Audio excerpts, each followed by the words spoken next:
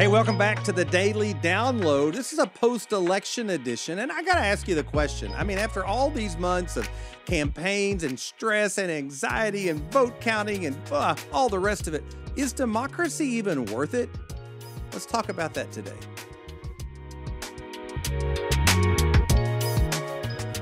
Well, I am glad that you are here. And uh, this uh, this week, I've been thinking a little bit about uh, just a part of our Germany training we've done through the years that deals with Jesus as this huge game changer. Now, we know that Jesus is a game changer for us as individual. He changes our hearts, he grants us forgiveness, he brings us into his family, provides us a place to be and helps us to become all that God created us to be on our way to being in heaven when this life is over with. I mean, Jesus is a game changer on the individual level, and that's for sure. But have you ever thought about the ways that Jesus is a game changer in the way that he's impacted the world that we live in, uh, specifically about some of the ideas that he taught and examples he provided who have literally changed everything.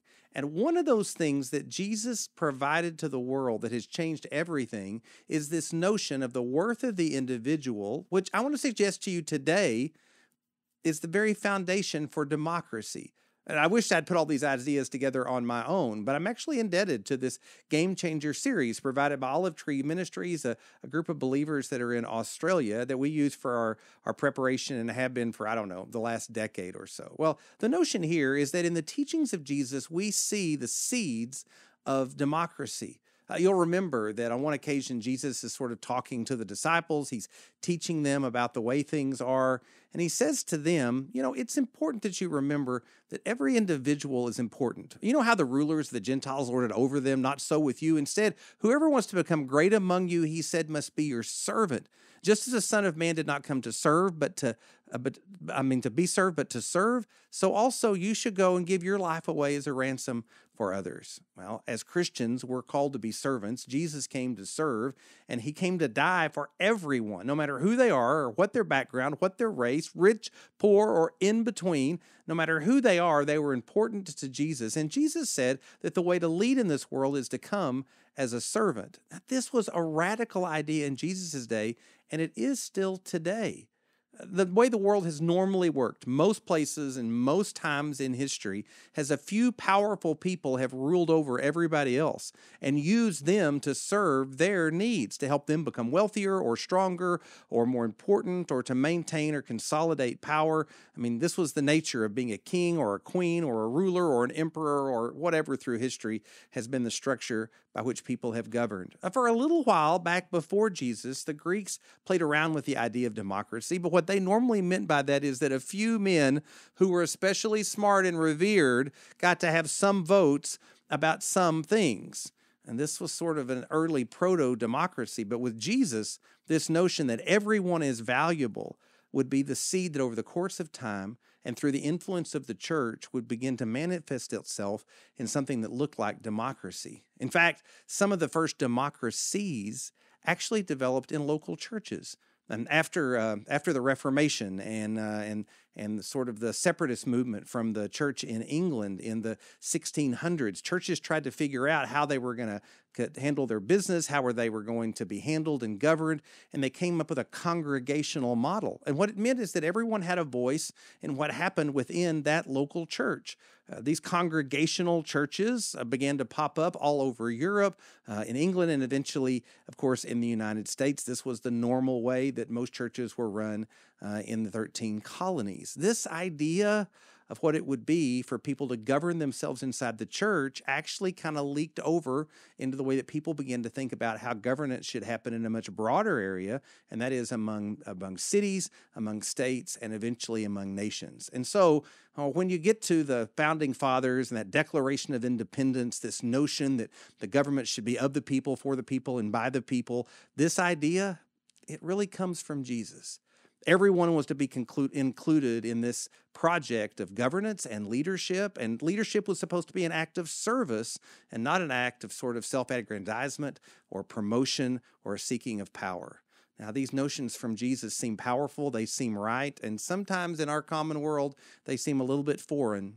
We can see that sometimes politicians seem to be grabbing power for themselves, and there's collections of politicians that want to take care of their own, even if it means the hurting of others. But not so with Jesus. Well, across the course of time, these notions of democracy began to develop and grow, even within our own country and in Europe and other places, began to try democracy or put democracy in place.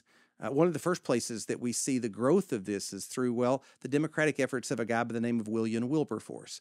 Wilberforce is a group of Christians that are reading their Bible. They're seeking to find the right way to give leadership. He ends up in the House of Commons, the legislature in England, and he begins to promote the idea that everyone is created equal, everyone's valuable in the sight of God, and therefore slavery should end. The slave trade should come to an end. England should quit buying and allowing the buying and selling of people within its borders. Now, this was a radical idea in the 1700s when he began first promoting this notion. And you've got to remember that for all of human history, there have been slaves.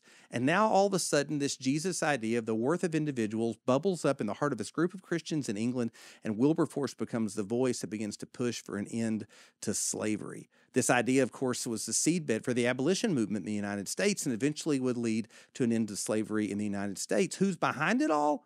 Jesus and his thoughts about the worth of the individual and even the notion of democracy that would make such a thing possible because of a groundswell of support by lots of voting individuals. Uh, we pass forward across time in the suffrage movement. The idea that it shouldn't just be men but women who should vote was also led by a lot of Christian women in America who said, hey, the idea that everybody is a part of a democracy should mean everybody. And so women got the right to vote. Eventually, people who were of other nationalities, specifically those who were black, were allowed to vote in America because of this notion. And who's behind it all? Well, this Jesus, the same Jesus whose church first said that in Christ there is no slave nor free, there is no Jew nor Gentile, there is no male nor female. This notion that we're all equal is a Jesus idea, and it is at the rock bed, it's the foundation of democracy in and of itself.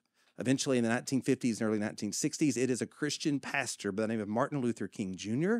who steps forward with a dream that everyone would be treated equally, and of course, a Civil Rights Act.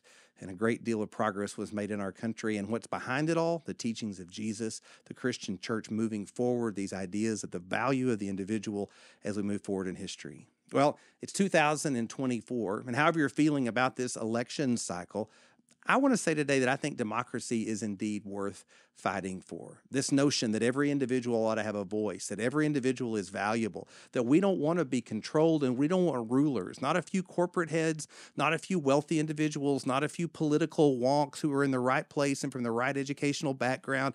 Everyone in America should have a voice in how we are governed. And all those who govern should see that they come as servants. As Jesus said, anyone who wants to be great certainly should when you get in the ballot box and you vote, when I vote, we're acting as individuals who are seeking God's will and trying to follow our conscience. We're trying to we're trying to help support our country. We want to be servant-hearted in the way we go about it. All of those things that democracy has its seedbed in the teachings of Jesus. Jesus Christ was indeed a great world changer, a game changer in human history. And as you think about democracy, be grateful for this gift that Jesus gave to the world. Not just his life that we could know forgiveness and, and reconciliation with God, but a political ideology that would allow everyone to be valuable, valuable and valued and have a voice as we seek to figure out the way that we will live and the way that we will be led. I hope you guys have a great afternoon and look forward to seeing you tomorrow.